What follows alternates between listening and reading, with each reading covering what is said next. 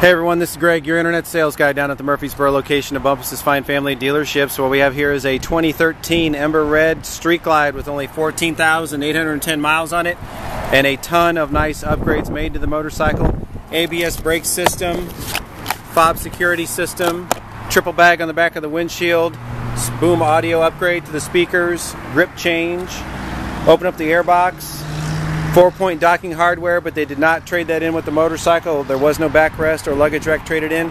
LED fill ins on both sides of the fender. Pretty nice touch there. Just a reminder I can ship this motorcycle anywhere in the continental United States. Simply request that information online. I'll get back to you. Passing lamp and turn signal upgrade. Also upgraded front and back with chrome wheels from Harley Davidson. Pretty sharp wheels, never seen those before a super sharp motorcycle that just needs a brand new home.